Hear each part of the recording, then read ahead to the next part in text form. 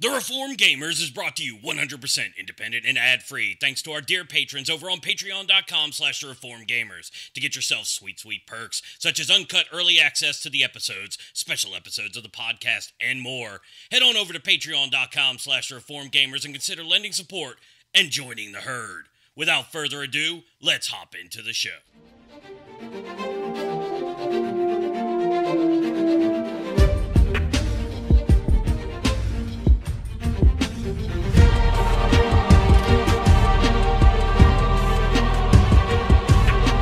Hello and welcome, dear listeners, to episode 181 of the Reformed Gamers, the show all about theology, video games, and web slinging all around New York City. I'm your host, Logan. I'm his co-host, Adam. Adam, Adam, Adam. It is the most wonderful time Mm. of the year, as the famous song goes to say, man. It's it's funny because when all this COVID stuff started happening, I'm like, all these games are getting delayed. There's gonna be nothing to play by the time the fall comes around. And now here we are, and we're like, there are too many things to play. like, enough time in the day, man. I can't get a I can't need get to around become to an official full-time streamer and just play video games my whole life. That's that's the dream, man. Even if Dude, I wanted to do that, my wife would be like, "No." like even if I think Yeah. c- like even if she was like, "All right, this could support us as family," she'd probably still be like, "No." She's not, she doesn't hate playing video like video gaming, but I'm just like, I don't know if she'd be down with that being my career. I don't think we would set up the good the proper boundaries. Like you got to be able to say, "Hey, I'm going in this room and I'm Mhm. gaming for 5 hours." And she'd be like, "That's not happening." Cuz I would No, hear I would hear a kid crying and I'd feel like I'd have to go help. now, so you gotta change up and be like, I'm gonna go in here, I'm gonna work for five hours, Sure. and then Sure. uh, and we're gonna make some money, and then after that, I'm gonna work another eight hours editing videos. yeah, yeah, yeah, no doubt. That's the that's the part I wouldn't like. Oh man. Oh man. It's a funny thing. I love it when people because people will sometimes reach out to me and ask, you know, hey, what do I need to start a podcast or Twitch stream or whatever? Like, well, here's what you need to know. It's a lot more work than you think it is. they're like, what? It's like, yeah, dude, here's everything you got to do on the back end. And they're like, wow, I did. I if you want to do that- it well, if you want to do it well. Yeah. Yeah. If you want to kind of make something of it, if you want to just do it as a hobby, then you don't really need to worry about the other stuff. Yeah. But if you want to make something of it, kind of like what we've done over the last six years or so, then there's a lot of work into it uh, that goes into it. But it is what it is. It's fun though. You got to enjoy doing it. That's the thing. That's why we keep coming back to y'all. That's why we're skipping out on the Game Awards right now, recording this episode, getting it out to you, dear listeners, because we love you guys. And plus, we just have Twitter pulled up to the side here, and we're just watching the Man, updates. I, I tell you, it's if I didn't love coming and just talking video games with you, man, I don't. I would have quit a long time ago. And Oh, that's. I mean, you do so much more work than me. Like, this is like the main thing I do. I, I help prep the shows, come up with topic ideas, you know, interact with some of the dear listeners. But you go so much harder and so much more. Like, I just show up and do the podcast, and I'm still like, man, this can sometimes be a lot on family stuff and stepping away. But I just like, I'm like, but then I'm like, I just like coming on and talking about video games. Mhm. and so yeah, that is definitely the thing. I just like coming and hanging out and talking video games. And so I'm thankful that you allow this, again, my small part that I get to play in it because there's a lot more that I could be doing and probably should be doing. But I'm just glad I get to come and talk video games with you every other Yeah, week. man. It's just a good time, you know. It's like uh, it just goes back to the whole idea of community, right? We uh, we as Christians, we need that community. We need we need that time to just kind of hang out and uh, just meet together, and that's what we do uh, every other week. And so it's pretty cool that we're able to do that, and you guys are here listening, and uh, we just get to kind of keep it keep it rolling. So again, uh, I guess we'll just roll it into this. You know, we appreciate you, dear listeners. Thank you so much for your support this year. Uh, in case you didn't know, this is going to be our only episode that we put out this month. So in case we don't see you, Merry Christmas, Happy New Year, and uh, hopefully you guys have a good times with family, friends, and uh, and just play some good games. And so, kind of what we'll do this episode, uh, in case you hadn't noticed already, we're going to be talking about Spider-Man Miles Morales. This is going to be our spoiler cast, so to speak. Just to let you know, in case you're new, kind of what we do on these episodes is we talk about the game up to a certain point, give you plenty, plenty of spoiler warnings. So that way, if you haven't played the game and you don't want any bit of it spoiled or the story or whatever, that's your opportunity to duck out. But until then, you are safe from spoilers listening to this episode. Uh, but yeah, so we're going to get into that a little bit later on. And like I said, uh, this is the only episode we're going to put out this month. So stay tuned to things like YouTube, uh, the website, those kind of places where you can get extra content from us. That'll be going up over uh, the next few weeks, actually. And so, with that being said, let's get into some housekeeping. Now, like I said, I already covered the new content stuff. Stay tuned to the website, uh, the YouTube, the YouTube, the YouTube channel. Uh, we're going to be putting stuff up over there. We're going to have a video going up here. It should be the same day that this episode releases to public feeds. We're going to have a video up talking about can Christians play Dark Souls, which apparently every time I check our website analytics, that's the one, like the thing that is most searched that brings people to our website and what people are typing in the search bar in our website. So it's, I'm going to make a video about it and put that out there for you guys and gals, and then hopefully you guys can enjoy uh, Dark Souls. Uh, if you if the spirit lets you, I mean, if it doesn't, then then don't worry about it. Play, uh, I don't know. I almost said play Demon's Souls, but that's the same genre. So Play him, uh, Sackboy Adventures. there you go, Sackboy. Wholesome, wholesome content. You know what's funny? I've heard that that game is actually I really stinking good. know, I know. I've been so tempted. That was one of my.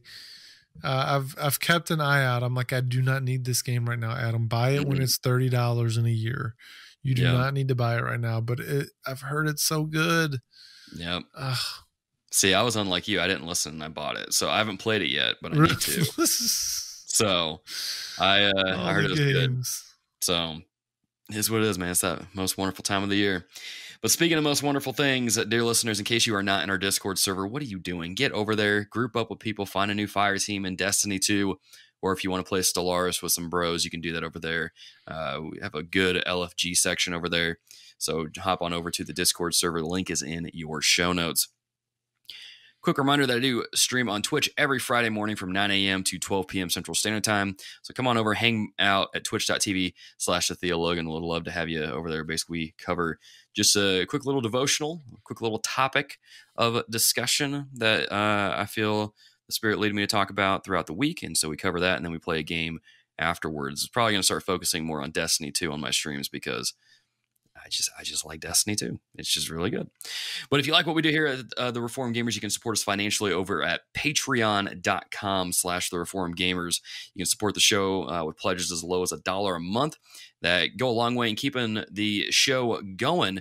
But it also gets you some sweet perks like early uncut access to all of the episodes. So if you think me mumbling and fumbling through words is hard in the polished version, just wait until you listen to the uncut version. But you also get a uh, behind the scenes episode once a month as well that just went out here recently for five dollar and up patrons. So be sure to check that o- check that out over on Patreon.com. You can also support the show uh, another way. If you don't want to do the Patreon subscription thing, you can go to um, our merch shop. Link will be in your show notes and buy some sweet merch. So if you want to get that sweet dear listener on a hoodie, on a long sleeve, on a long sleeve hoodie thing that Adam really likes, Hey, you can get dope. that. Hey, I and we're three sales away from we're at 47 sales. We need to get to 50 by our next episode. I mean, I'd love us to like get to like 75 by the new year. But hey, we get we can all have dreams, we can have goals. But hey, get us over 50. So if you haven't got something Mm-hmm. yet, go over and get some sweet merch. Yep. Yep. Christmas is coming up too. You got you got to show your pastor some love. So it should be there before Christmas if you buy it in the next day or two. There you go. So patrons, there you go. Public feed listeners, uh, maybe not, but still, go ahead and head on over there, get yourself some sweet merch, and enjoy it. And if you have a special lady in your life, guys, I'm just letting you know, uh, the women's fit sweater uh, gets my wife's seal of approval. So be sure to pick up one of those as well. And if you're listening to the podcast, take a screenshot of you uh, listening to the podcast from your app or take a picture of yourself listening to it. Tag us on social media and uh, let us know that you're listening to the show and what you think of whatever section you're listening to. Like maybe, I don't know, Logan has bogus opinions on Destiny 2. I don't know, whatever. Just have fun with it. But with that being said, let's get into the show. And we like to start off the show like we always do with a little bit of what have we been playing. Adam, handsome bearded man, bearded wonder. What have you been playing? Man, this I, I don't know if I've ever been bouncing around as much in games as I have right now. like I've got games on Switch, PlayStation. I've got it with the Xbox now. I got Apple Arcade for three months. Uh, so I've been uh, there's like I got three games on there. I'm like, okay, I got it for three months. I'd like to finish these three games to be like, okay, I didn't just waste this membership. So the first one I played was when we were on vacation over Thanksgiving. I played The Last Campfire, um, which is a little puzzle game about a, um, it's called an Ember. And so it's kind of this like heartfelt story of trying to guide others and community and doing things with, you know, helping each other out. Really cute little game, fun puzzles. Um, a couple times I kind of got turned around and needed just a little bit of direction, but played that on Apple Arcade and had a really good time. A couple other games that I wanted to play. They've got um, what is it? The Pathless. Is that the one that's on PlayStation Five? Also, uh, I think so. Yeah, that Micah really likes. That's on there, and then Sayonara Wild Hearts. That's kind of mm. my two games I'd like to finish in the next couple months on there. But yeah, played the last campfire, and enjoyed it. It was just it was a game I could play when I was hanging out, even if I was hanging out like with Hannah and my in laws. It didn't require a ton of my attention, so it was a good time there. Um, I've been playing, you know, finished up Miles Morales, and we'll be talking about that later in the episode. So I won't go into it too much, but finish that, and yeah, awesome, awesome stuff. Um, on the Xbox, I've been playing some Ori and the Blind Forest, mm. which I mean it's a great time. I got it took me I kind of got stuck for a moment. I, I I was like, there's something I missed, and so I had to roam around, and I finally got the um it was like the explosion burst early in the game so i could oh, blow, oh, yeah. blow through some walls to be able to like access some other areas so i'm like i can't get where i need to go so i finally got the thing that i needed and it's been i've been cruising since then but really enjoying that game. It's uh, got a, a, fun little story. The graphics are great. The music's great. Um, that's been what I've been playing at night when when Hannah falls asleep. And so there's really, again, there's I, I could talk about a ton of games I've been playing. FIFA 21 on uh, EA Play Trial. I've been playing. Uh, I forgot to mention this on the patch notes today. I got one of my Black Friday gifts uh, or games that I bought was uh, WWE Battlegrounds. I kind of joked about it being oh, yeah. my sucker game.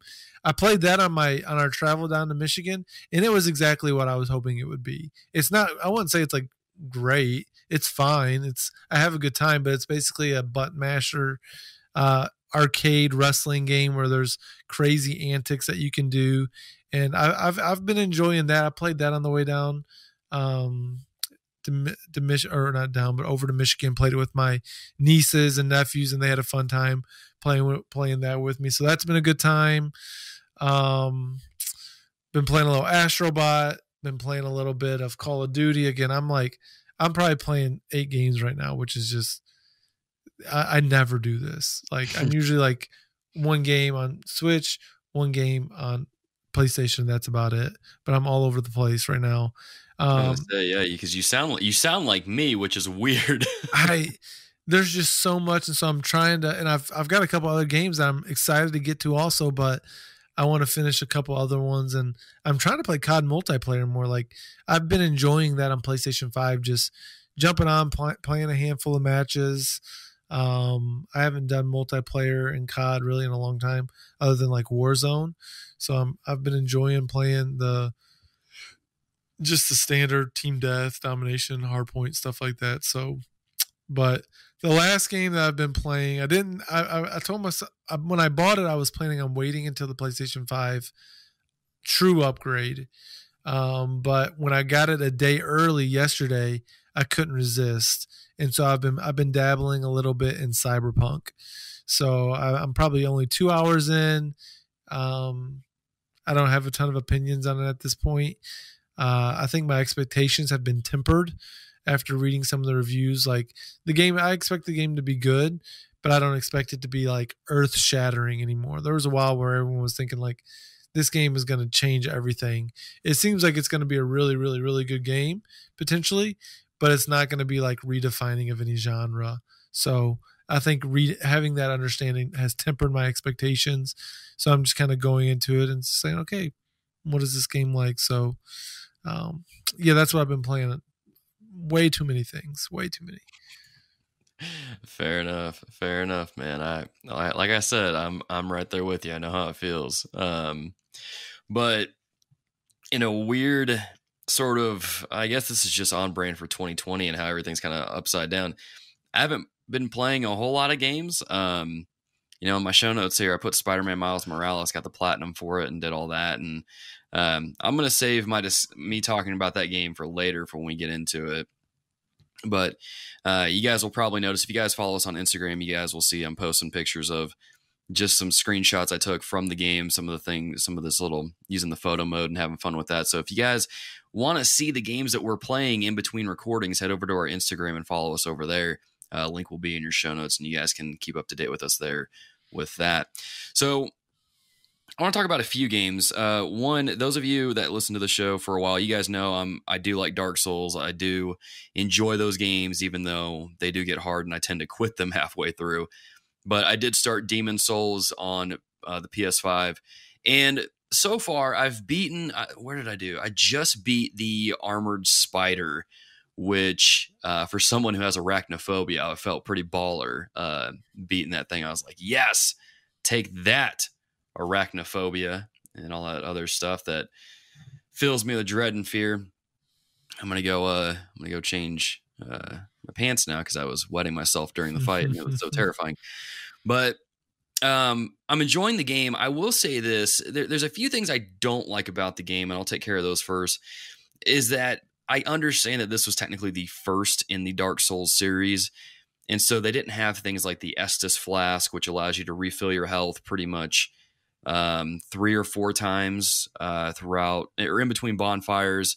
Uh, you had you don't have bonfires in this one. You have archstones that drop after you defeat a boss, and so if you die, you're basically stuck running through the level. So you really have to rely on exploring, finding shortcuts, and so I don't particularly like that aspect of it. However, it's not so annoying that I'm going to stop playing the game because on the flip side of that, I'm having a blast playing this. It is easier than Dark Souls, at least up to the point that I was I'm playing now, and it's like the game is gorgeous. It it just runs really well on PS5, and I I'm just having fun with it. I'm really enjoying it. I started playing as a soldier. For those of you uh, that may be curious as to what class I picked, um, but it's just man, I've been talking to my boy Jesse Knob. You, you all know Jesse Knob. He's been helping me out with the with the game a little bit, and he was just telling me like, man, explore. Just take your time with it, explore the areas thoroughly,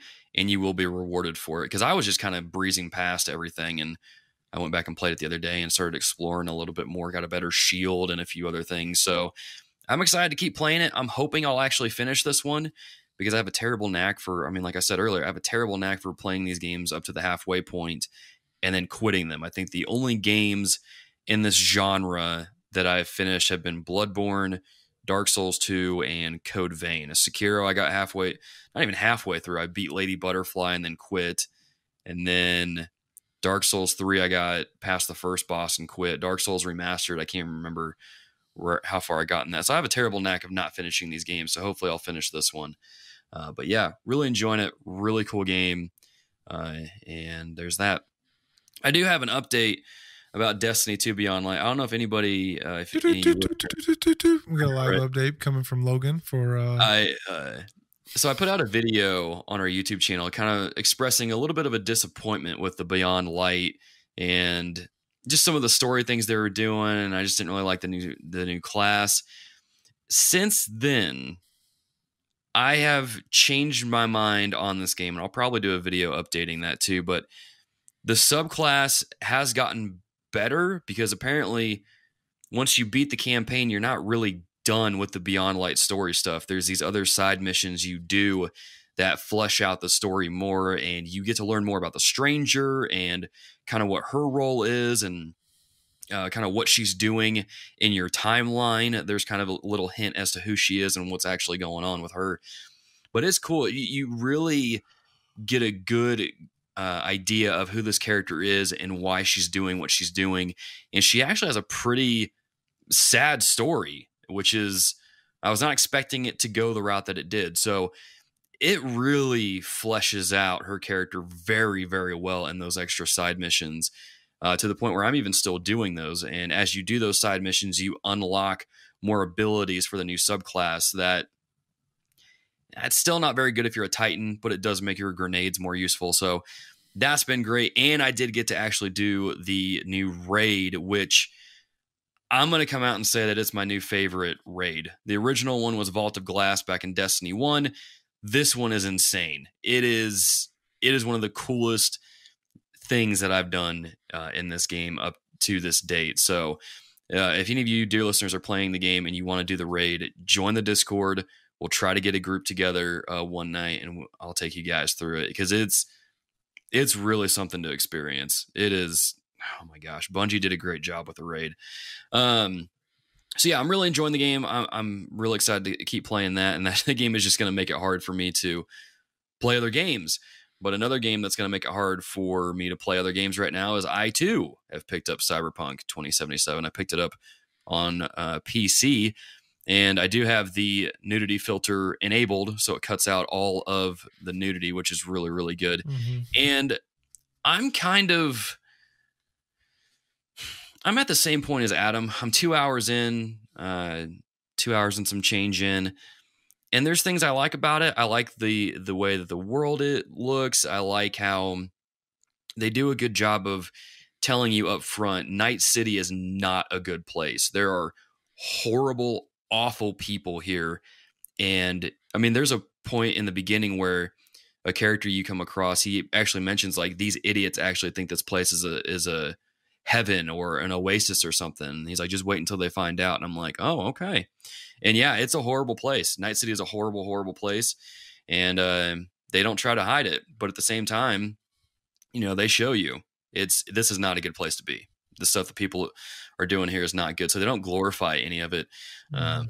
in that regard. And there's there's some interesting things about this game. I I love the questions that this game is asking so far because as I was playing through the game and kind of exploring Night City a little bit, I came across some of these ads that were on different shops and things, and it really just shows kind of the seediness of some of these companies and how they're trying to. I mean, you see this in marketing in our current world, how that's designed to make you feel like, oh, I need this to have a perfect life. But in this game, it's like ramped up to 10 or 11. Mm-hmm. So it's even more uh, in your face and crazy. But not only that, I was listening to a conversation in this game. I, I uh, finished a mission, went into this elevator to go up to my character's apartment, and there was this TV screen where they had this talk show going.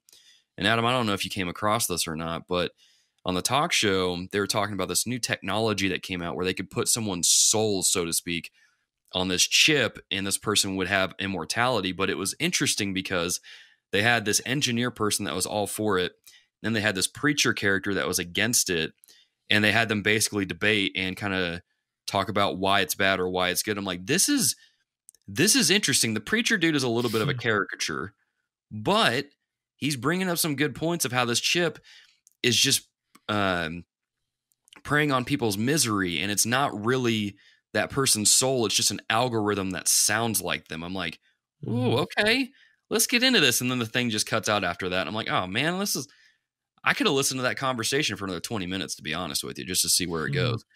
So it's it's interesting at how they're bringing up these themes of um, body modification and this world where technology has gotten so advanced that you can do these really uh, outlandish things, and they're kind of having characters come in and ask those questions like, "Is this really good?" And so it's it's interesting. It's um it's definitely intrigued me a little bit. I haven't encountered a whole lot of bugs on PC. There was some weird issues with the audio where it dropped out during some car chases, and then uh, a character like would walk through a closed door.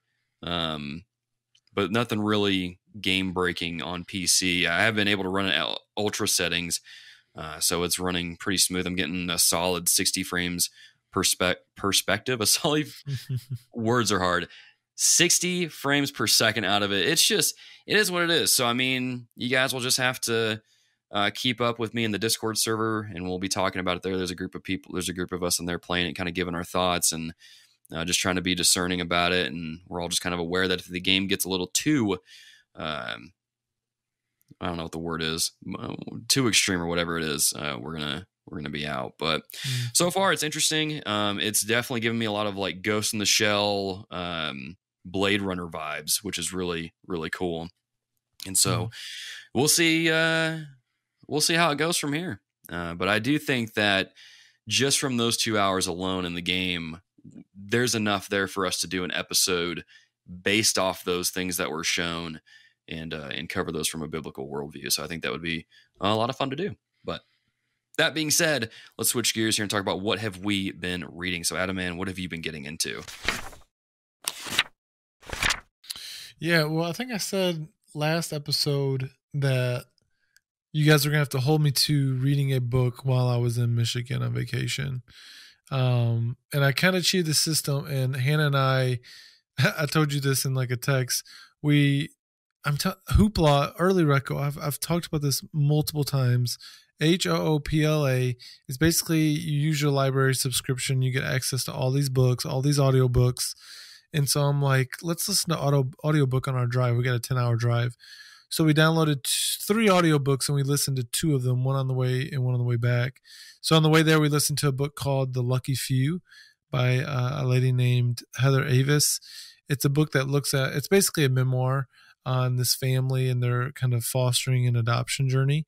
They've adopted um, three children, two with Down syndrome.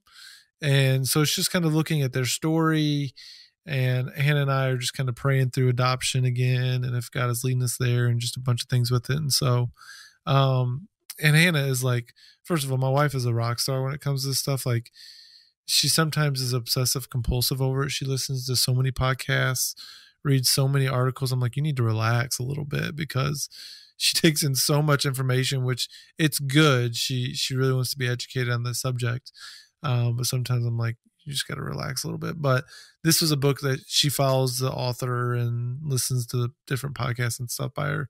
So we we listened to that book and it was really good. I mean, it's again, it's just you're listening to how God worked in their life through adoption, uh, through the adoption of their their children with special needs. And it's a really powerful powerful story. So if any if anybody's interested in adoption, especially adoption of maybe children with spe- uh, special needs, Down syndrome uh, it would be a book worth checking out. And then the other book we listened to on the way back is a book by Jasmine Holmes called uh, Mother to Son. So Jasmine Holmes is Voddie Baucham's daughter. Are you familiar with Jasmine? Uh, a little, like not too much. I've seen her on Twitter, and that's about it. Yeah, yeah, yeah. I've I haven't heard.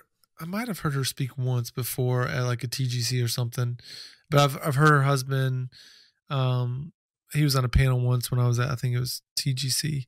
Um, but it's a book. She's basically writing letters to her son, talking about all things being a brother, being a, a son, being an African American, talking about identity, race, a lot of different things.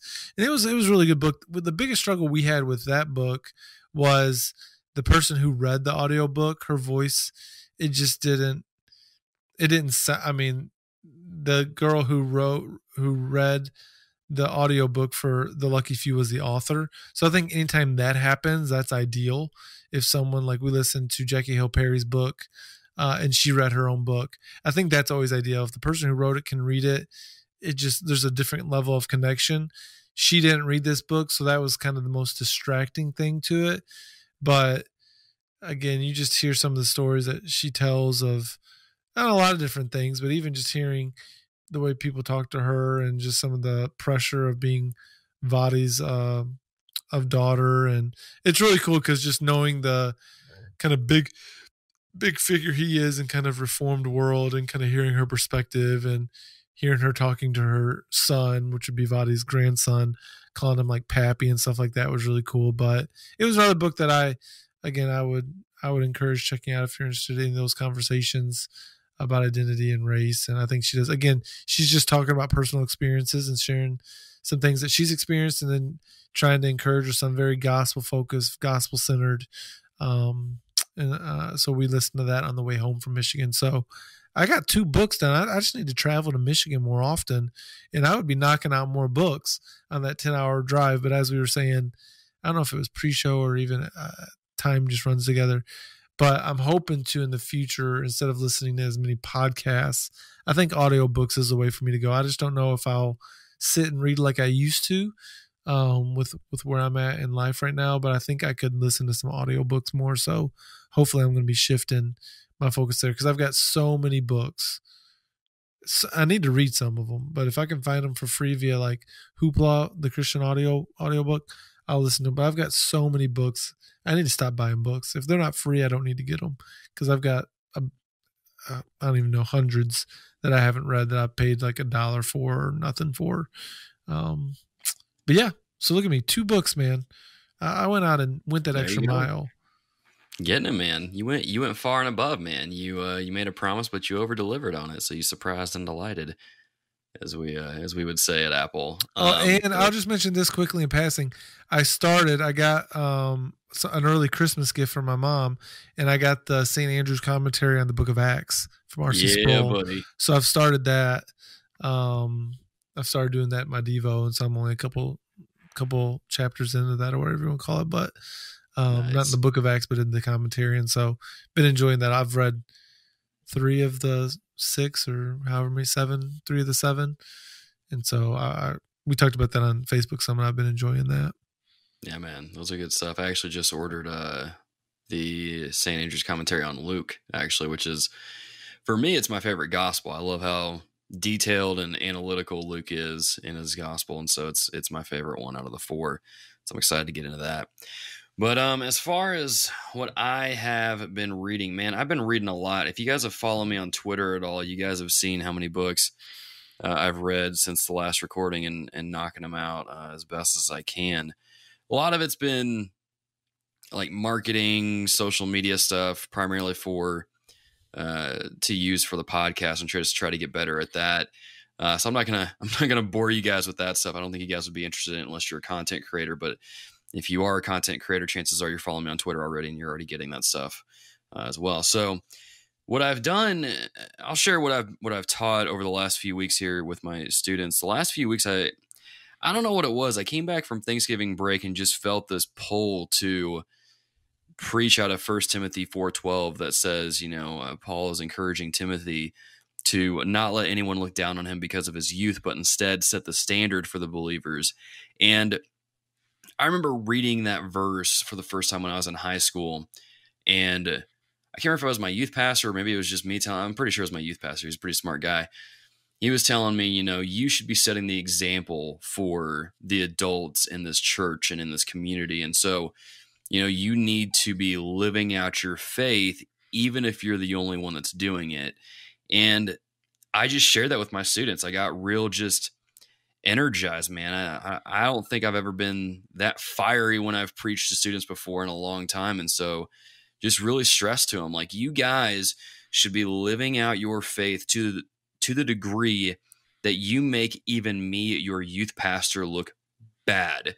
You guys should be living out your faith, praying so hard that I look at what you guys are doing and go, man, I need to step it up because like it's you, I, and I told my students this. I'm like, you guys are are stepping up. You guys are setting the standard or meeting the standard for everything else in your life when it comes to sports, academics, your parents' expectations, or whatever it may be. But when it comes to the Christian life, you guys are coming so far down underneath that that you guys are just barely meeting the the minimum standards that your parents are putting on there for you of just coming to youth on Wednesday night.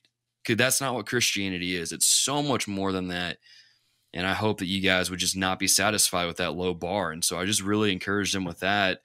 And then this past week, I told them, you know, hey, I told you guys to set the bar, but here's what you're going to face when you do that. And I went through uh, the verse in, uh, what was it? Uh, John 15, where Jesus tells his disciples, the world's going to hate you, you know, but don't be discouraged. Just know that they hated me 1st Mhm. uh, but you're you're going to get some of that and just kind of shared with them like you know especially us as content creators here online we we don't that's one of the things i'm thankful for is me and you we don't really get it near as much as some of the other people that i've seen online get it like shadeless gets a lot of heat online when he when he's speaking truth about the bible um, the folks over at gma just had this article written about him a few weeks ago and ever since then they've been getting a ton of trolls and people hating on him Mm. So I was sharing that with my students. Like when you step out of your faith, or when you step out because of your faith, there's going to be people that are going to try and attack you and tear you down. But that's not an opportunity for you to quit. That's an opportunity for you to just shine even brighter. And so just try to encourage them with that. And man, it just it's one of those things, especially if you're going to be online, you you just got to be ready for it and you just can't back down from it. It's one of those things where if you are getting heat because of your faith, it's no excuse to quit. It's just an excuse to get tougher and to go twice as hard uh, against that pushback and to just keep doing what God's calling you to do yeah. because God's going to see you through it and he is going to get you through it. And I was just reading oh man, what was I was it Psalm 99 or was it 93? Man, I can't remember. But it was talking about, you know, he who abides in the Lord is, you know, in his mighty shadow. And I'm just like that's it. That's it right there. So that's kind of what I've been reading and just trying to. It's funny, you know, we as uh, pastors, when we study stuff, we tend to not really take what we're studying to preach to other people and apply it to ourselves. But this one, I'm just kind of sitting there thinking through it, man. And I'm just like, what is God trying to tell me through through these lessons? Why is God impressing upon me to share this with students? And what does that Mhm. mean for my own life? So it's been good stuff, man. It's been a really good uh, season of just kind of, I guess, going through a little bit of a, a crucible, maybe. I won't get into my personal life too much on here. I'm just saying that there's been some stuff that's come up that's really pushed me. Um, and I've had to ask hard questions of God, but it's it's a good it's a good season. It's a good good season. So I don't know if any of that is beneficial to any of you listening, but hopefully it was. I tend to ramble. My students know this best, so Mm. you just have to get used to it. Um, so with that being said, let's go ahead and get into the topic of the show. As always, as before we get into the topic, just a quick reminder to rate and review the show on your podcast app of your choice. And uh, let's go ahead and get into the topic of Spider-Man Miles Morales.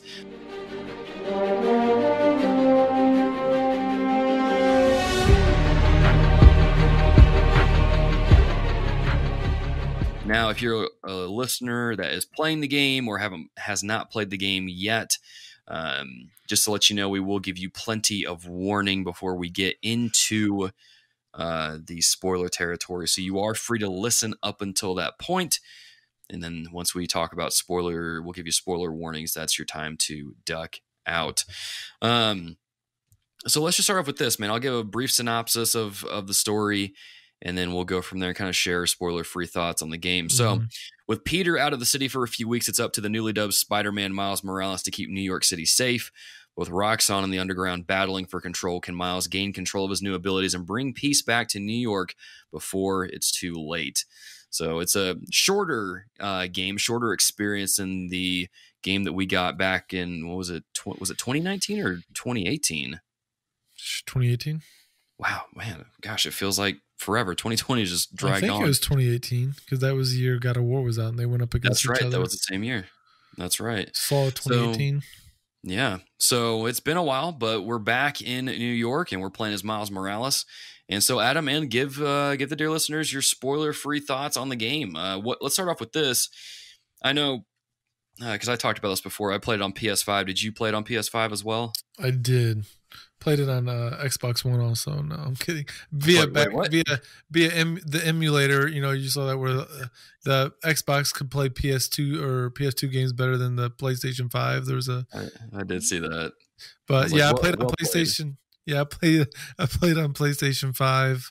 Um, yeah, I played it on the performance mode. I would every once in a while go back and turn on the the fidelity mode just to kind of see what it looks like. I'm really sad. I'm really sad. They recently announced that they were going to do the Yeah. 60 frames per second in 4K, and I'm like, I'm not going to play the game again because, as as we said earlier, there's a billion games out there. So I just Mhm. don't see myself getting back to it, especially anytime soon. And I'm kind of like bummed that there's the ray tracing and everything now with the uh, performance mode. But it is what it is. The game still looked. Again, I'm not like a graphics, you know, whatever. I thought it looked great. It played amazing. Like you could tell. Like I don't know. I've never been one to be like, oh, frames per second, but even I can notice going from 30 frames to 60 frames. Yeah, the, the buttery, buttery smoothness of the combat. Um, it didn't mean that 30 frames was bad by any means. Still really, really good. But once you've tasted 60 frames, you're like, holy cow, this is this is smooth. This is really good. So that was a ton of fun. Um, I thought the story, you know, honestly, it was just the right length for me. It didn't mm-hmm. overstay its welcome.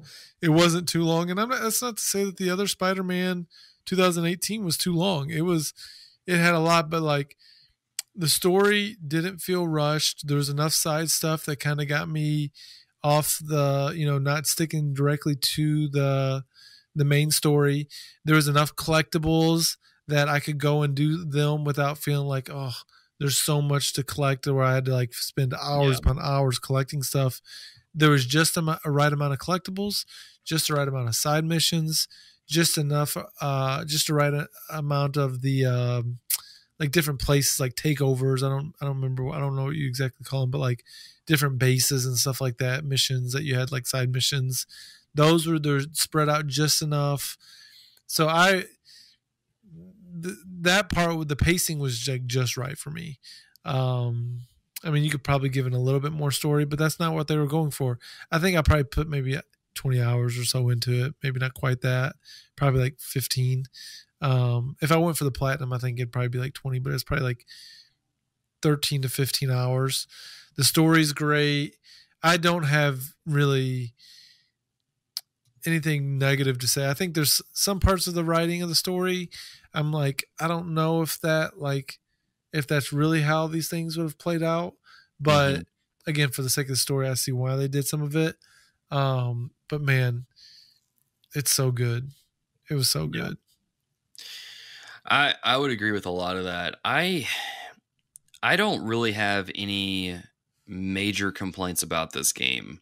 I think in many ways I actually like it better than the 2018 Spider-Man game and I think it's because of just how more of a concise experience it is. It's just um it's not necessarily bite size, it's just more contained, I guess, you know. It's more uh, narrow in focus, I guess would be a good way to describe it because I love the side stuff. The collectibles weren't too much. The side stuff was actually fun to do, whereas in the 2018 Spider Man game, you had the screwball missions, which I absolutely hated those missions. And so I, I like how they kind of refined that in this game. I honestly liked all the characters in the game, uh, with the mm-hmm. exception of the uh, president of Roxxon. I didn't.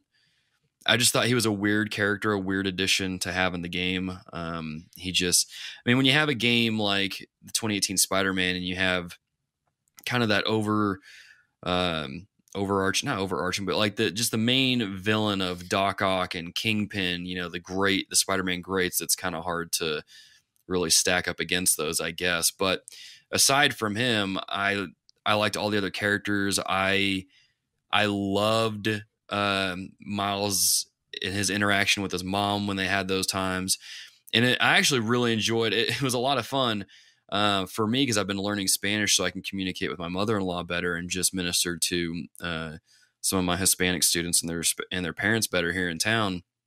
Like when they would speak in Spanish, I'm like, oh, I know what they're saying. I don't need the subtitles. This is so cool, you know. So I had that. Nice that really awesome experience of like where I'm learning stuff and I got to apply it a little bit. And so it's like me every time I watch a movie and they have Russian in it and I pick up a yeah. couple words, I'm like, Pff. and I'm and I really don't know what they're saying. I'm just hearing words that I recognize, but I feel right. like I know so much more. Yeah, so I hear you there. It just it gets you in there, man. So it's cool and. Oh my gosh, you know, just the the graphics, even in performance mode, look really good, man. It, it ran smooth. It played great. The controls were awesome. I I loved the the venom powers you get as Miles and using those in combat. Yes, it was. Yes. It was just a blast, man. I was grinning from ear to ear my entire time playing this game, mm. and uh, I love the trophy list. I felt it was more refined as well in that regard. I didn't mind playing through the game again uh, on New Game Plus because it just allowed me to just keep playing the game and taking pictures in photo mode, which I love the photo mode in this game.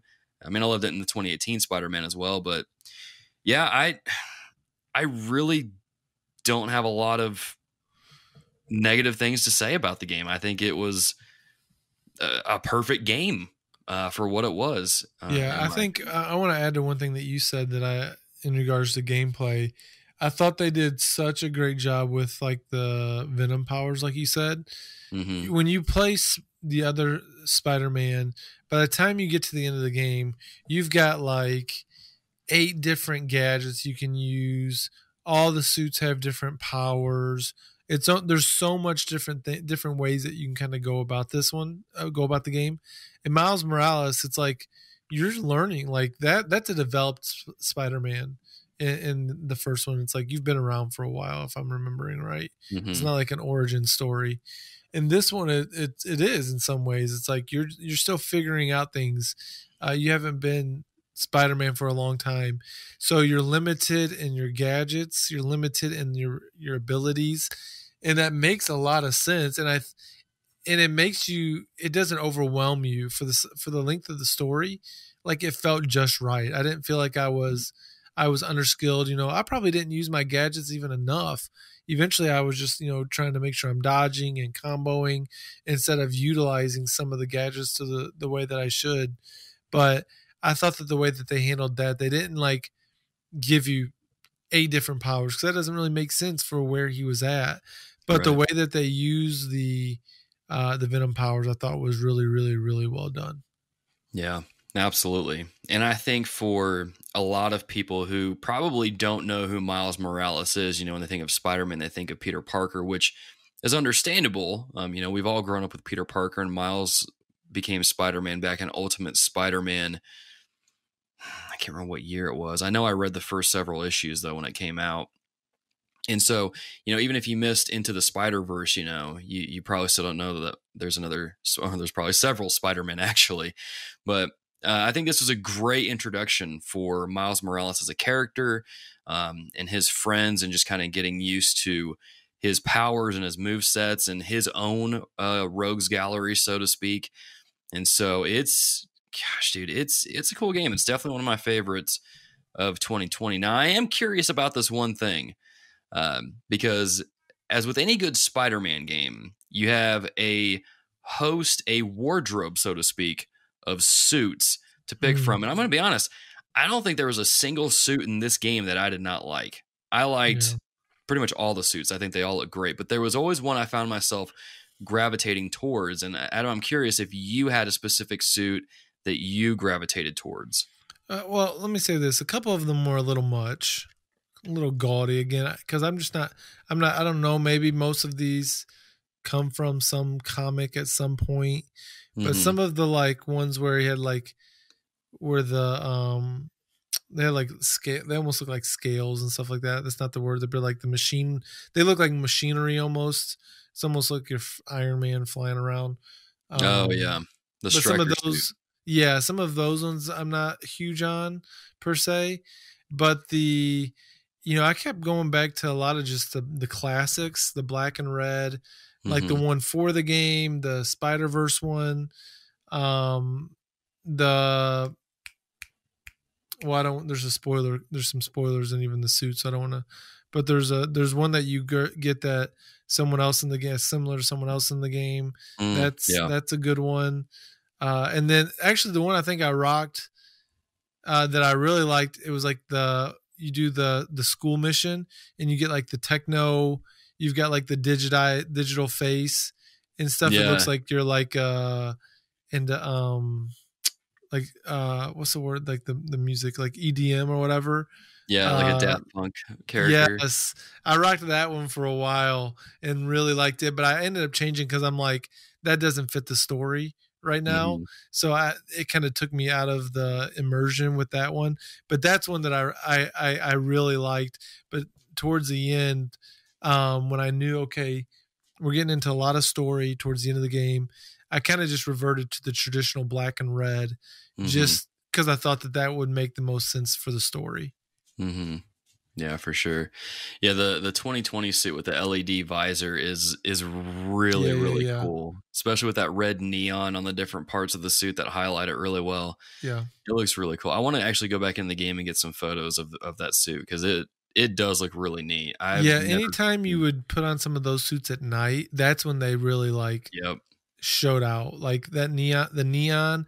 Like I, I was wearing that one for a while during the day, and I'm like, okay, this is cool. And then I was roaming around at night with it on, and I'm like, this is this looks amazing. And that's when it really, pun intended, really shone through. Yeah, for sure, for sure. Um, that was one I found myself wearing a lot, and the other one that you get uh, from a character in the game that we don't really need to mention. Well, there's two suits that you get from two different characters. That I mean, I already showed pictures of one, and people have seen it, but I won't spoil it for the for the sake here. It's just very um, meow Nick min, yeah, meow. I'm trying to say magnificent and meow at the same time, and I'm failing. well, that one's okay. The one at the very end of the game, you mean? Yeah, yeah, yeah. The Spider Cat, that one's okay because that's like that's not so much story based, but that one is cool. But I didn't get to rock it too much because it's like basically I got it in the end game. Yeah. It's it's hilarious though, because you'll do the super moves and For the cat will come out and like claw the person's face, and it, it's so funny. It's awesome. There were a couple times I didn't realize that some of the um like the finisher moves were suit specific. Cause there was one time I did a finisher on somebody and like like the whole arachnid like spider busted out and like planted them in the ground and I'm like What? Yeah, yeah, yeah. I don't remember which suit it was, but it had like a different finisher compared to just your basic suits. I'm gonna have to go check that out. I didn't I didn't know that some suits had different finishers. I think really I cool. think it it had to be because, and I only got it once, so it must have been on a suit that I didn't wear that long Mhm. because I was like, oh, that was different. Like it, it's it stuck out to me because it was so like baller. Yeah. That's cool. I'm gonna check that out.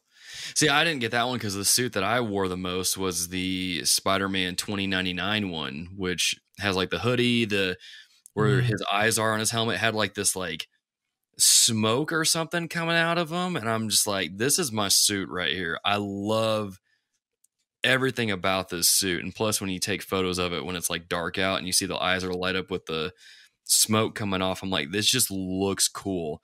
Uh, my wife thinks it looks terrifying, but I think it looks cool. So that was uh, that was my personal favorite. Dear listeners, if you want to see what that suit looks like, go onto our Instagram. There's a few pictures of it on there, and it's just it, it's a cool suit. But like I said, pretty much all the suits in that game, I didn't really.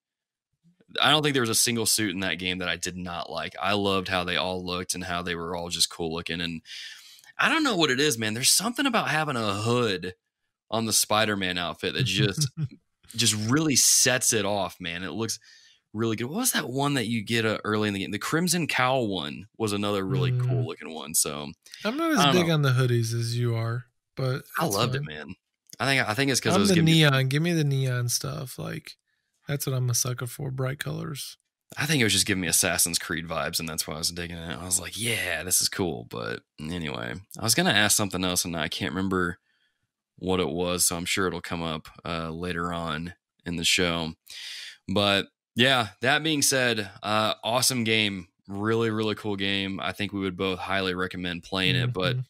uh, this is the point where we're going to get into the spoiler part of the episode. So if you have not played the game yet, or you're playing the game currently, and uh, you know you don't want any spoilers or anything like that, this is your your chance to pause the episode and to um, go play the game, or or keep listening. Maybe you don't care about spoilers.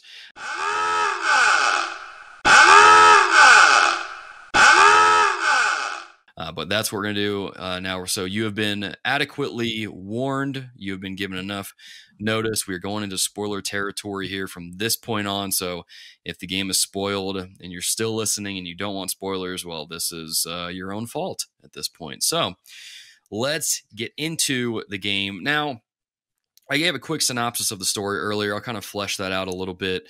Um, you know, with Roxxon um, c- coming into the scene, they're developing this new source of energy um, that I told. Is it Newfield?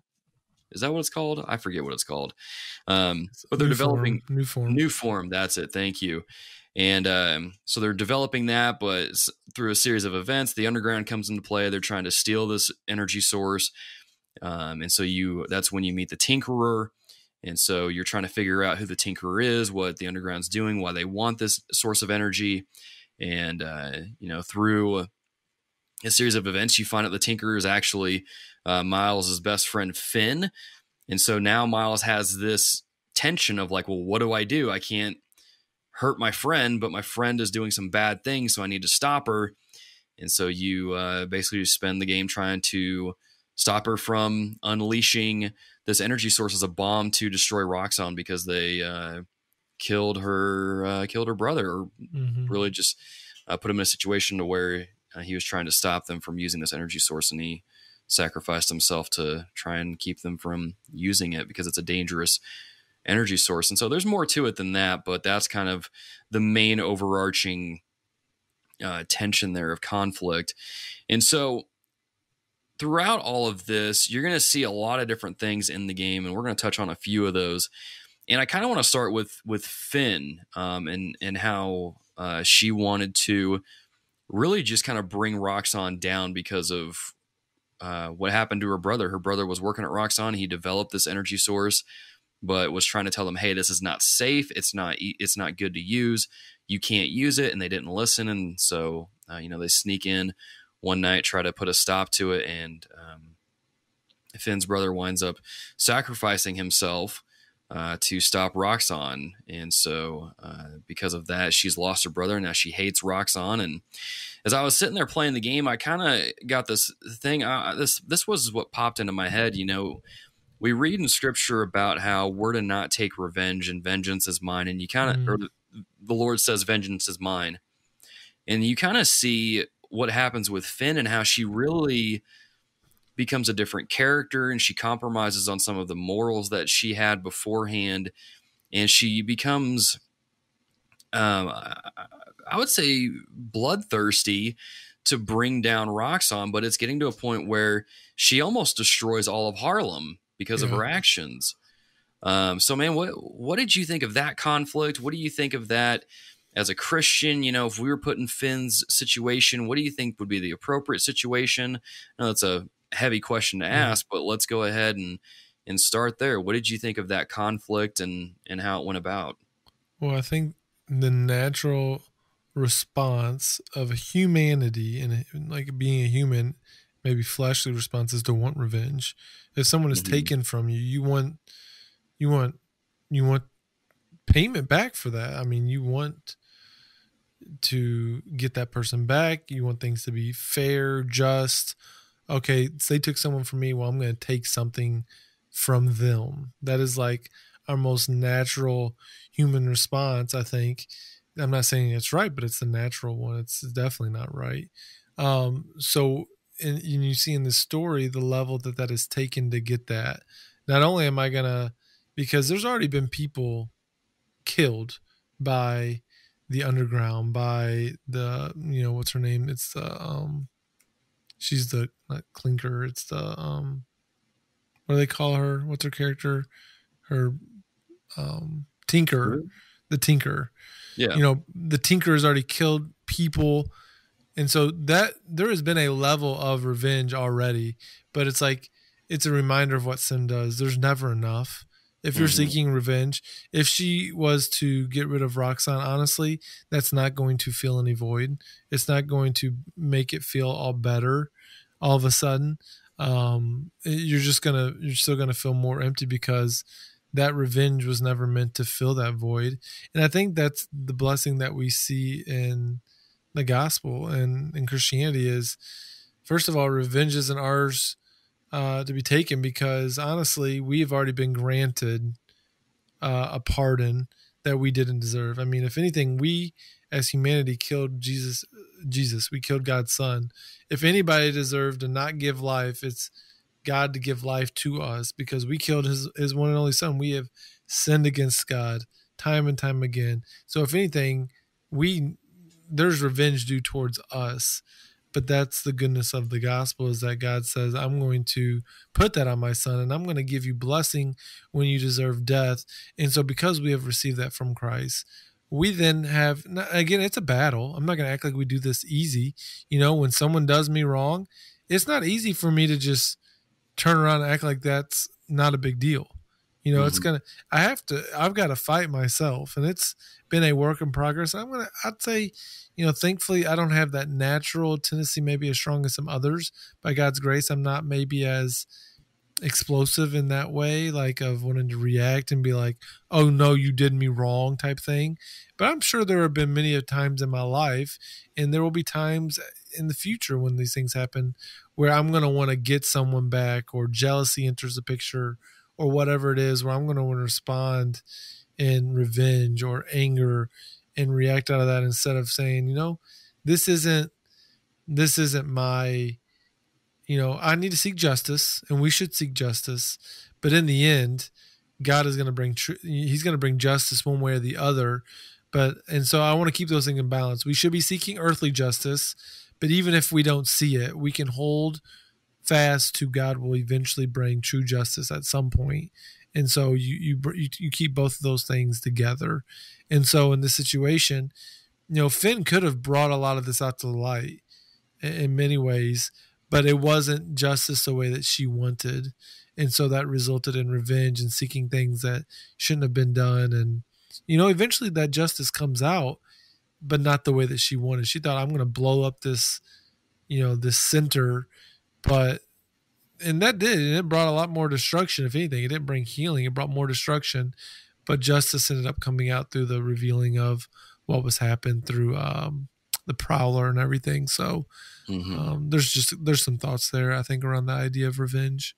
Yeah. And and golly dude this is this is one of the things that i love so much about spider-man as a character. And you see peter parker do this. You see miles morales do this you know they're always like begging with them you know there is a better way to go yeah. about doing this yeah. um, and it's like you said she could have easily brought all this information out to light and really just brought roxxon down which is what's interesting about that is because that's what happens at the end of the game this information gets out and then roxxon or at least the president of roxxon gets arrested for it and you you see Miles telling Phin this whole game like there's there's a better way to do this. You don't have to do it this way. Like I get your pain, but you you don't have to become them in the process.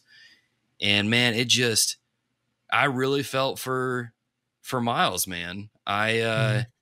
especially with him as as a new Spider-Man, he's trying to figure all this out and he's making mistakes and and goofing and stuff like that, but oh man, it was it was very effective in this game mm. in regards to um letting you see Miles and his heart and how he wanted to be there for his friend, but at the same time, he wanted to live by the Spider-Man code, so to speak, and do the right thing. And so, yeah, it's it's interesting, man. But that's that's one of the nice things about us as Christians. Not only do we have the Holy Spirit on our side, kind of giving us comfort, but it's also there to let us know, like, you know, God is going to avenge you. You don't have to become what you hate in order to to take it down. You know, there's someone mm-hmm. out there who will take it down. And in a way, if Phin would have just listened to Miles or let Miles uh, help yeah. um, more to the degree than what she did, it would have been okay. Um, or it would. But you can even see better. in that her, like he throughout the story, he tries to talk to her, but her bitterness had taken over so much, yeah, that she wasn't hearing it. Like she's like, I, I trusted you, and you, I'm not going to listen to you again because her bitterness yeah, again. It was yeah. my way or the like my way is the only way that this goes, and she couldn't hear anything else. And I love what you said about Spider-Man's character, whether that's Peter Parker or Miles Morales. They're always like, "Hey, we want the right thing done. We want justice, but it doesn't have to be this extreme revenge justice." They want proper justice and i love that about spider-man's character because they're like hey we can do this and we can do this together we can do this with the authorities we can do this in whatever the right way is and they never been they never waver from that and i think you see some of that with the relationship between miles and his uncle um, his uncle would would look for some of that in the wrong way. He's like, no, this isn't the the way that we do this. Uh, the Spider-Man way is the wholesome way. It's the right way. It's the kind way. It's uh, the proper way. It's through the right channels. Which I, I think you make a good point there. Which is which is what makes Spider-Man's character really shine, really wholesome. Uh, Mhm. whether that's in the movies or in the video games, which is really nice. Yeah, and and, and that's what's I think at, at the core of Spider-Man, whether it's Peter Parker or Miles Morales, is that Uncle Ben quote: "With great power comes great responsibility," and Peter instilled that, and Miles and Miles got that. I mean, there's this dialogue later on in the game where, and because we're in spoiler territory now, you know, uh, the Prowler, um, Miles's uncle, actually tries to keep him from going after Phin and getting himself killed. And he's like, I'm doing this to protect you. And he's like, I'm not going to just back away from my responsibility just because I could possibly die. Like, I have a job to do. And when I heard Miles tell his uncle that, I'm like, he's Spider Man at this point. He's got it, you know. And you Mhm. see throughout the whole game, he's like, Man, I'm messing up. I shouldn't be Spider Man. I'm not good. I'm not fit. I'm like, You've got this. Like, I remember watching him and hearing him say that. I'm like, dude, you are Spider Man right now. Like me and Ganke both were telling him, like, you're Spider Man. You've got this. Stop beating yourself up. And uh, but man, you you see that come through. You see him really becomes a, a Spider Man in this game, and you see him just trying to help people, and it just and, and oh man, I, I love how at the end of the game he's sitting there with Spider with Peter Parker, and he's like, "Does this ever get any easier?" And he's like, Mm. "Not really." Yeah, in some ways, yes, but not really. Yeah. And so, but that's again, it goes back to that old that old saying: with great power comes great responsibility. You know. But um, it's cool though to see that Miles has Peter there to help him along this path, and uh, I, it's going to be really cool to see what they do um, in the next in the next game because they're going to need each other because that end scene showing um, Harry Osborn's son in that Mhm. tank with venom floating around him they're Mhm. those two are going to need each other and so it's going to be interesting to see how they how they take on venom which is my favorite spider-man villain i love venom he's such a cool character um but before we get into that and me geeking out about uh, my favorite spider-man stuff um i kind of wanted to switch gears here and i don't know if I, we really have much to say on this particular topic but this just this game struck me in in some ways I didn't expect. Mhm. You know, I know Miles. I knew Miles was um, was Puerto Rican and was half Puerto Rican and half black, so I knew they were going to bring some of that culture in there, and we were going to see that. And I didn't really expect it to hit me in the way that it did. You know, in in video games, there's this conversation that floats around from time to time about representation in games, and I'm going to be honest. I've never really understood it because I just, you know, I, I look at characters in games that I play like Horizon Zero Dawn, Tomb Raider, Metroid, some of my favorite games, and these characters don't look like me. They're in a different civilization, they're in a different culture, whatever it is, and I just I'm like, I, I don't really, I just don't really understand the idea of seeing your culture being on display.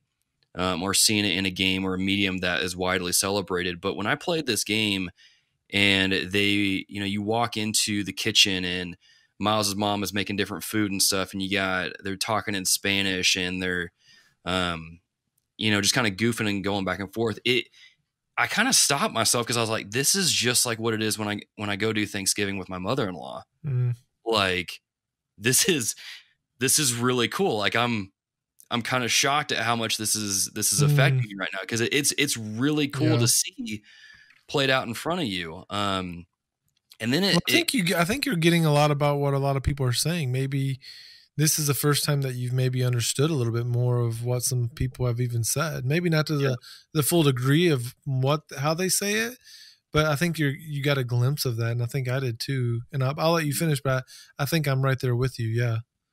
but no i just i i loved it man and just hearing about the food that they're cooking i'm like dude i have that at my mother-in-law's too this is awesome i like i, I Mhm. love this this is uh it kind of brought me on another level of like i i relate to miles a little bit more in the in this area yes. Yes. Um, but then uh then there's this one side quest you do and i don't know if you did it but you uh you work with hailey she was the uh deaf girl you kind of Yeah, meet her in the beginning Hey, I of hundred percent it, brother. I didn't get the platinum, but I did all that you could do in the game. fair enough okay i'm not gonna lie Come on.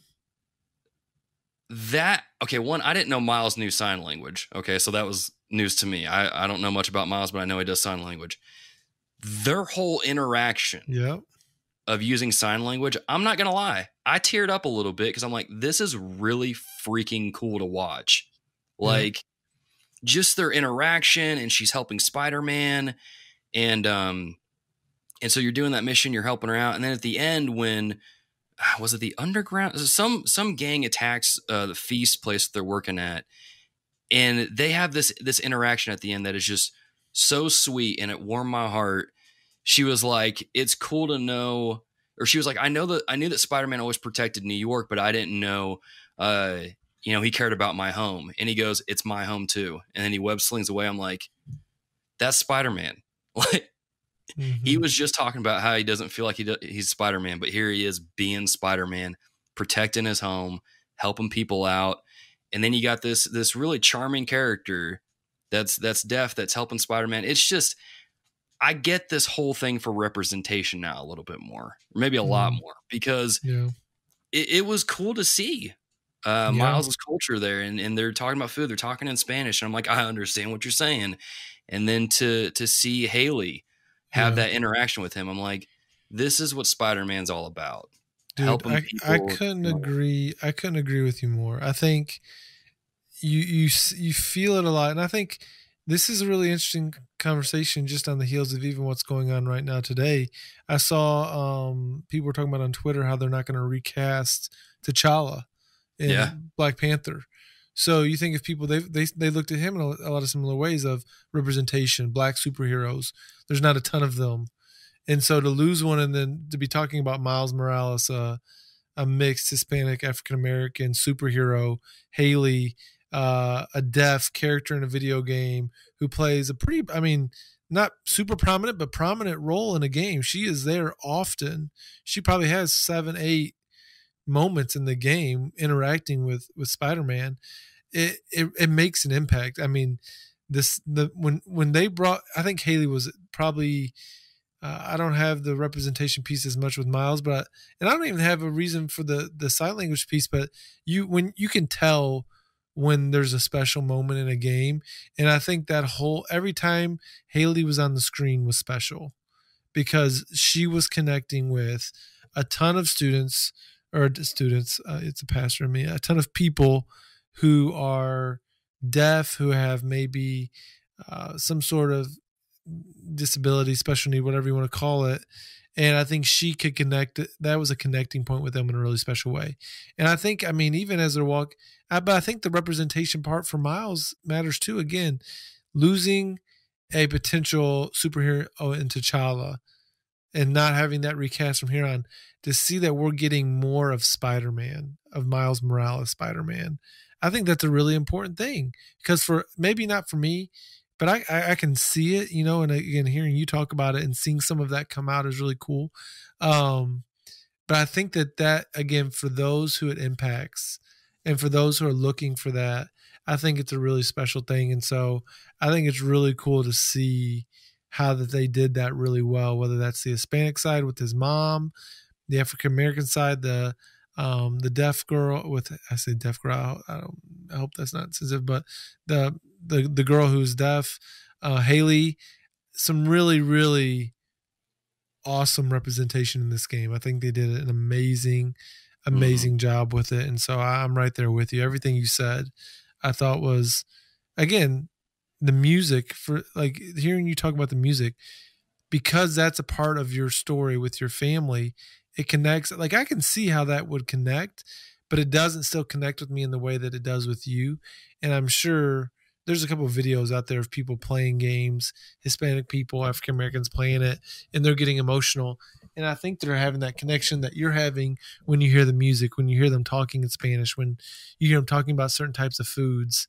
I think that's that's cool that they can that stuff brings emotions out of people, and because maybe in some ways we see that in some some different games, um, but maybe it's just not seen. I mean, you don't hear a ton of Spanish talking, and, you know, talk spoken in video games. You don't hear them talking about Spanish food, it's you know Mhm. Puerto Rican food, whatever. Uh, and so to hear that stuff come out, I mean, I would connect. If somebody started talking about biscuits and gravy, I'd be like, "Yo, I love biscuits and gravy." Like that'd be a connection point for me. Um, and so I can see how that could be for others. Yeah, man. So Or I mean, Like let me say this: it'd be like if someone, if there was a video game set in the Adirondacks, um, in my neck of the woods, I would connect more with that game because I'd be like, "Yo, that's my back, that's my backyard." So even mhm. as you think of like that area, that Harlem, or if it was in Fort Worth where we lived, you know, all those things, those things connect with people in different ways, and so I think it's cool when they can bring that out. Definitely, man. So it, it was really cool. You know, I was not expecting it because you know, I mean, I saw I saw it floating around online. People were talking about. it. I was like, man, I hope it's just not like cheesy pandering. But I played it and I was like, no, this is really tastefully done. It's respectful. It, at least in my opinion, it is. And I did not expect it to to hit me the way it did, man. It's uh really really good. And I think with that being said, it's a good point to kind of stand out there. I see you highlighting in, in the doc to talk about the relationships because much like Fast and the Furious, this game's all about family. It's all Mhm. about all about relationships, man. And you and you see that throughout the game. You see a- how you know Miles talks about his uncle Aaron and how he wants to kind of reconnect with them. He doesn't really understand why there's this uh, disconnect between his mom and his uncle and why they're not really hanging out. You see how Miles wants to connect with Phin because he hasn't seen her in a long time, but you know there's that tension there with her being uh, the Tinkerer, and he's like trying to figure out, well, what do I do because I'm Spider Man, you know? But you see this brotherhood between Miles and Ganke too, and they're just. I love the dialogue between those two. Oh my gosh, they're so funny. Um, so it, this game really emphasizes relationships, unity, that kind of stuff, um, to a degree. And so, what do you think, man, uh, about that? And what do you think about those relationships that were presented in the game? Yeah, I think it, I think they show the complexity of of going through life. I mean, in relationships. I mean, we we've seen the need for relationships in this year. You know, in 2020, where isolation, all these things. Um, how if you're not careful, people can become distant. You see some of that distance between uh, Miles and Phin. You know, I think again these are relatable topics. As you're watching their story unfold, we can all think of people that we used to be really close with that we are no longer close with now. And when we see them, it's kind of like that awkward of, oh, I love seeing you. I wish we were as close as we used to be, but we're not anymore. How do we figure that out? How do we fix that? Can we fix it?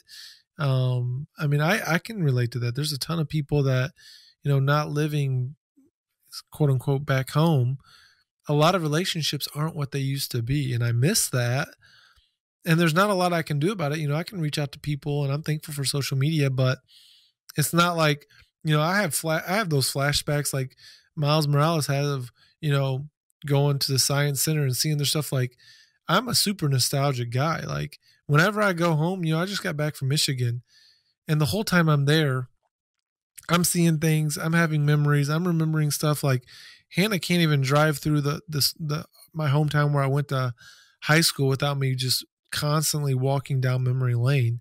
And so I, I get those things because life is about, and it's not just like things that I did, it's things that I did with people.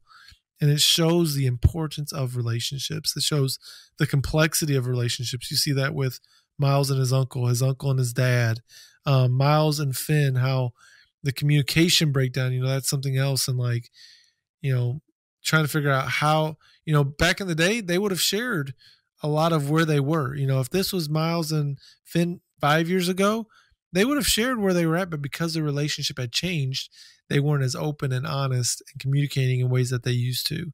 Um, you see, I mean, Miles and Ganke, I love their relationship, how they communicate. You know, Miles and his mom, um, him, her support for him at the end of the game, like, hey, I know you got to go do what you got to do.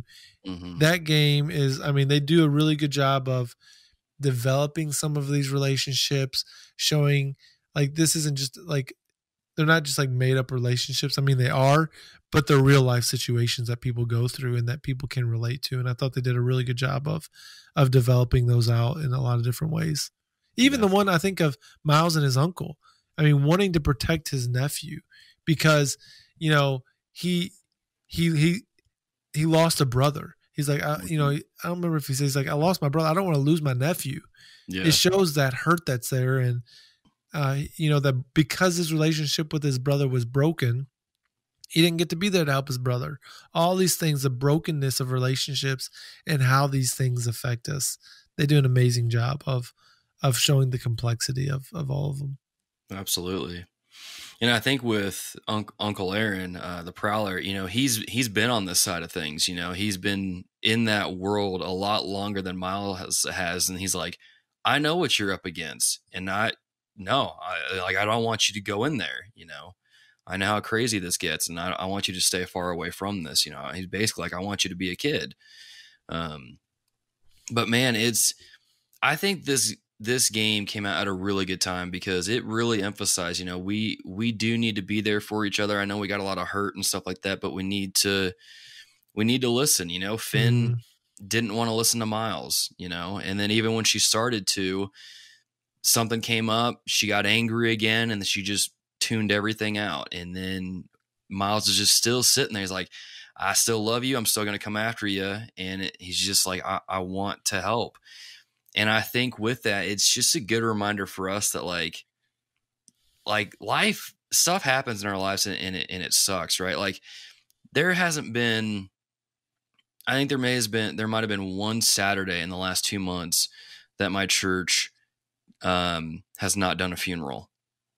You know, and and I've been there around those families as they're weeping the loss of their loved ones, but I've seen time and time again people come alongside them, love on them, and support them and it's just a good reminder that we're all struggling with stuff and we all need to be there for each other. And even if we have a Phin in our life that is blinded by anger or, or whatever it may be, we should be pursuing them. Because when you stop and think about it as Christians, Christ pursues us. He did that on the mm-hmm. cross. And then, you know, even before we become uh, regenerated and we get our faith, uh, he he is still pursuing us in, a variety of ways. And so, you know, if God is going to pursue us to that degree, we should also do the same for others and and try to really just bring everyone together and and just help each other out. Mm. You know. Yeah, uh, you make me think. You're talking about the game coming at the right time. I think I just got a smile on my face, like in the different scenes. You see it at the end of the game. You see it at other parts throughout the game where, you know, Miles is just being a kid in Harlem.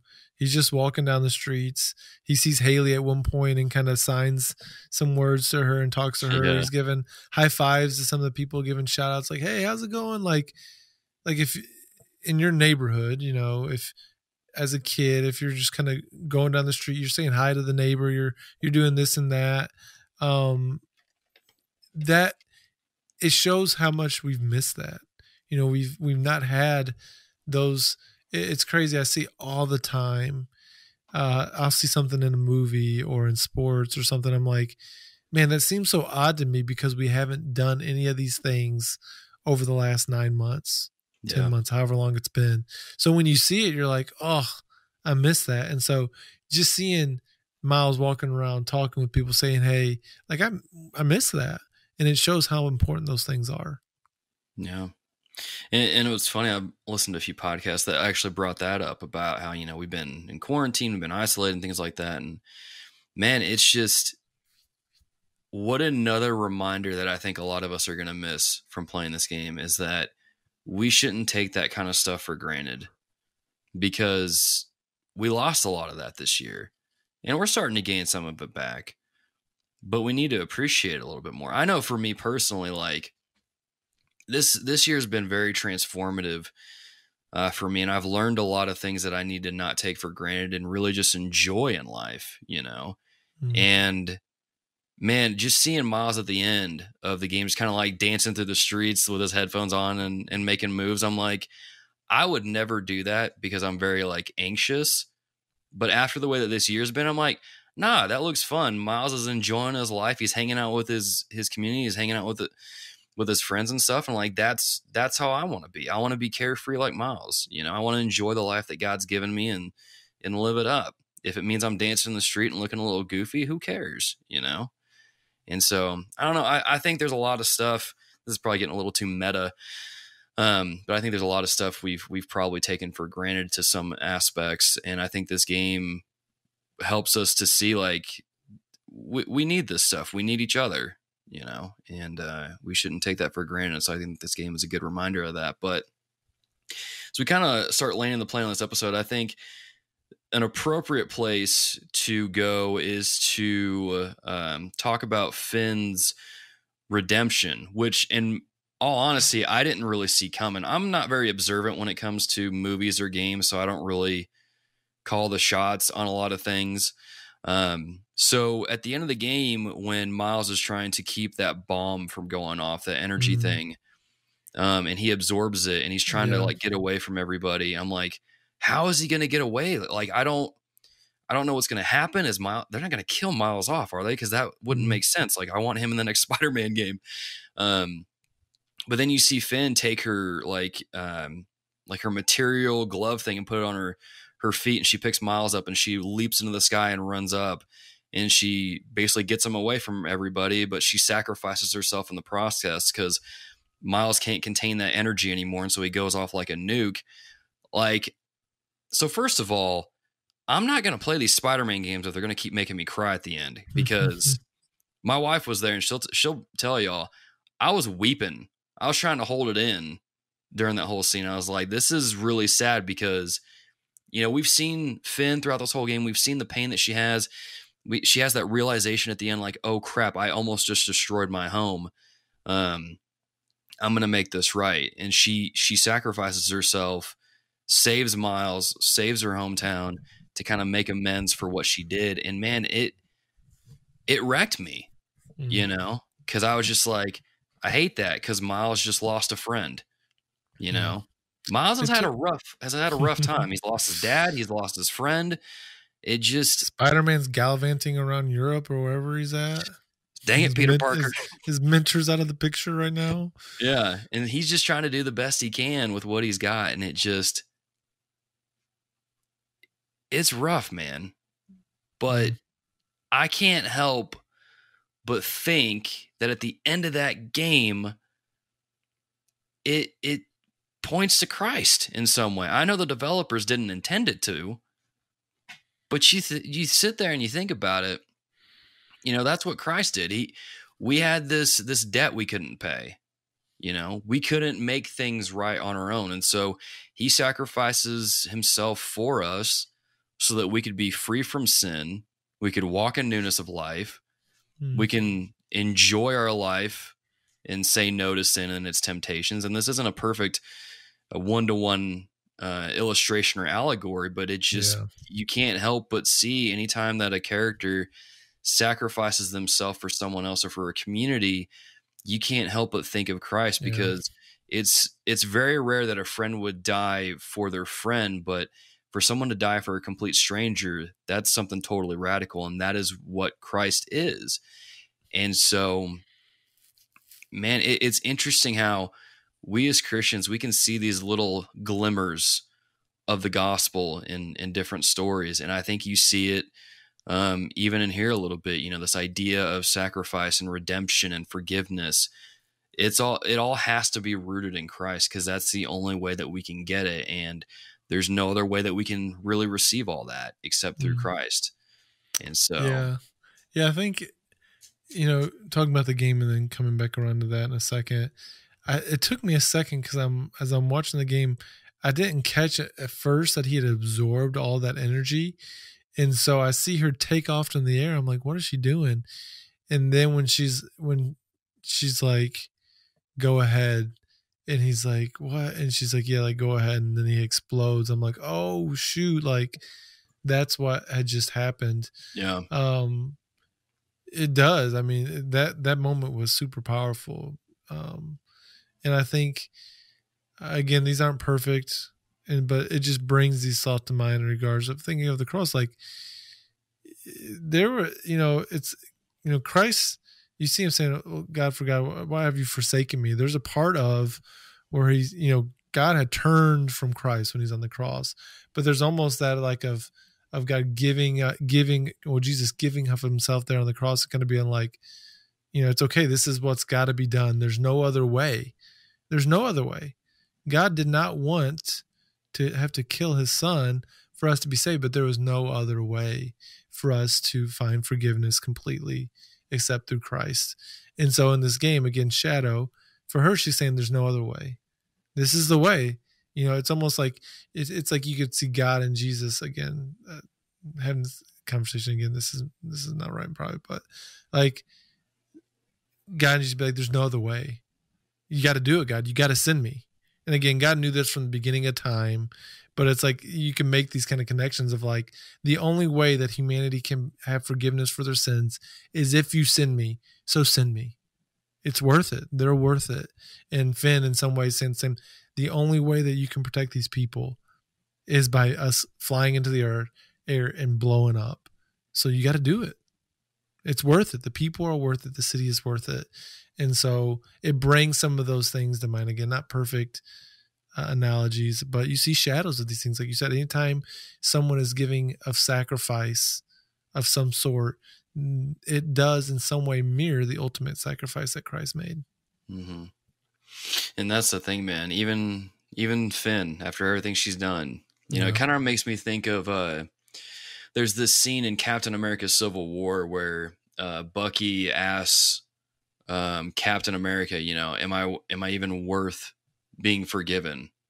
You know, I, that's such a profound scene in that movie that I, I've never forgotten it. And it's the same thing here. You know, in Christ, yes, you you are worthy of forgiveness because Christ died for you. And all you got to do is put your faith in him and then walk in newness of life, repent of your sin, and then just, just walk in newness of life. And you can have that forgiveness you know? And i don't know if anyone's listening to this that is that is not a christian but that's the same for you. You're worthy of it. Christ died for you. And so if you have questions about that or anything feel free to hit us up and we'll be happy to answer those questions. So I think it's a good uh, good spot to land the plane on this mm-hmm. discussion.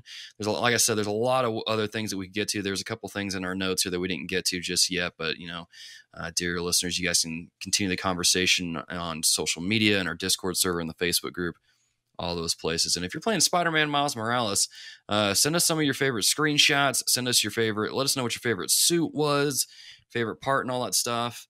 Um, and if you, uh, I don't know, I'm curious. Here's one thing I'm curious to know: if anybody played this game and then heard, "Oh, Into the Spider Verse has Miles," I'm going to go watch that. I'm curious if anybody went and watched that movie um, after after playing this game, which is a great movie, by the way. If you guys yeah. haven't checked it out, definitely go check it out. But with that being said, dear listeners, that brings our our spoiler cast on Spider-Man Miles Morales to a close. Go play the game, enjoy it if you have not done so already. But since this is our only episode of this month, we're going to do our patron thank yous right now. Thank you. You love me. You really love me. And so, uh, kind of what we do, we usually do this every second episode of the month, but again, because we're only doing one this month because of uh, the holidays, uh, we're going to go ahead and do it here. And these are just the folks that continue to support us over on patreon.com and uh, help support us and uh, allow us to do what we do on this show. And those people are Alex Castellanos, Andre Swan, Ashley Cronenbitter, Caleb Schmidt, Christopher Commander, Colin Gregory, Daryl Tavares, David B., Derek Smith, Isaac Stoltz, Jake Walker, James Barker, Jeffrey Jackson, Joanne Monroe, Josh Broccolo, Caleb Kokorodaki, Mark Fromy, Matt Edwards, Matthew White Chocolate McDougal, Matt Millsap, Melvin Benson V, Micah Hendrick, Michael Toller, Nate McKeever, Retro Rewind Podcast, Sam White, The Third Strongest Mole, Weatherman Keith, Wesley Ray, and Javier Medina. Hey, there's a couple new ones on there I've never read before, so that's awesome. Thanks. There are a few new ones. New man. backers. There are a few new ones. We got some new ones that came in uh, for uh, the Black Friday sale that we had on our on our shop and all that stuff. And they're like, hey, I want to do Patreon too. So I was like, hey, get after it. So there it is. But guys, thank you so much for your continued support over on Patreon. We greatly appreciate that.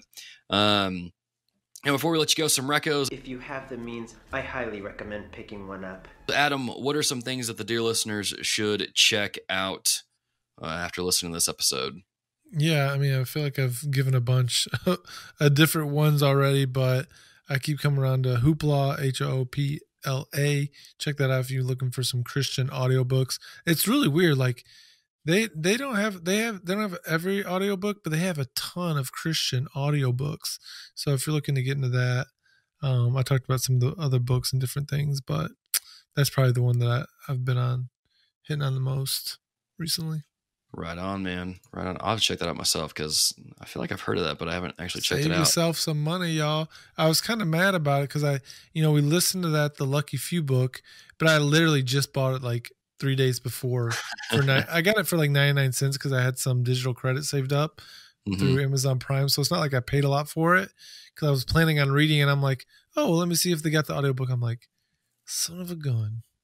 But I'm glad I could support them because it was good. There you go, man. There you go. Mine is going to kind of go alongside with that. You know, maybe you're not an an audio uh, book li- listener, but you would rather uh, read or something like that, or even maybe you're a person who doesn't like to read. I would still encourage you to find a book that interests you and read. I was having this conversation with a couple people in my church, some former educators here, and we were just talking about books, what we what we're reading, some of our favorite books and we got on the conversation about you know i've talked with some of my students a, a couple times and they just hate reading and i'm like no no no you don't hate reading you just haven't found the right book yet. And i told them you know uh, in grade school through middle school I, I read a lot but then i stopped and it wasn't until high school um, you know i never really liked the books that we were assigned to read because i just thought they were boring i'm like i didn't really want to read any of this stuff. But i remember reading fahrenheit 451 uh, in my english class i was like this book is insane this book is wild. I really like this book, and it's actually one of my favorite books um, of all time. So if you need a book to try and pique your interest in reading, Fahrenheit 451 by Ray Bradbury, or you could get into something else like Harry Potter is a good one to start with. Um, there's several books that you can use to start, but definitely get into a book, get into some reading, and and uh, you know don't don't wall yourself off from that form of entertainment, but also learning. You can learn a lot from books as well. Uh, the other thing I'll reco, and this kind of goes alongside the uh, with this game, if you haven't watched Spider-Man Into the Spider-Verse, Mhm. go check it out. Really good movie. If you want more, um, just Spider-Man in general, or you want to learn more about Miles Morales, definitely check the For check that movie out. Really, really good movie. Really, really good movie. Uh, highly recommend it. But anyway, dear listeners, that has been episode 181 of the Reformed Gamers. As always, if you want to support what we do here, uh, there's a few ways that you can do that. You can buy merch from our merch store. Show the link is in your show notes. You can go to our Patreon and support us there. Um, you can also leave a rating and review of the podcast on your podcast app of choice, whether it's iTunes, Downcast, whatever you use. All those methods help us out in a in a huge way. And you can also interact with us. Uh, you can interact with me on Twitch every Friday morning, uh, twitch.tv slash the TheoLogan. You can get extra content over on the website, thereformedgamers.com or youtube.com slash the reformedgamers. And then you can uh, follow us on Twitter. Uh, you can follow us on Facebook. You can join the Facebook group and interact with other dear listeners there. Or if you don't really like Facebook and you prefer Discord, you can go over to Discord and do the same thing there. And you can also follow us on Instagram, instagram.com slash the reformed gamers. Like I said, that's a great way for you guys to kind of see what we're playing in between recordings and uh, talk about games and things like that there. So definitely check us out on those avenues.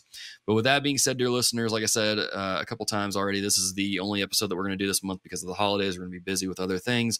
But stay tuned to YouTube and some other uh, and the website. You'll get extra content there. But in case you missed it in the beginning, uh, Merry Christmas, Happy New Year, and we will see you all in 2021. Be a deer, keep it locked dear. We'll see you next year.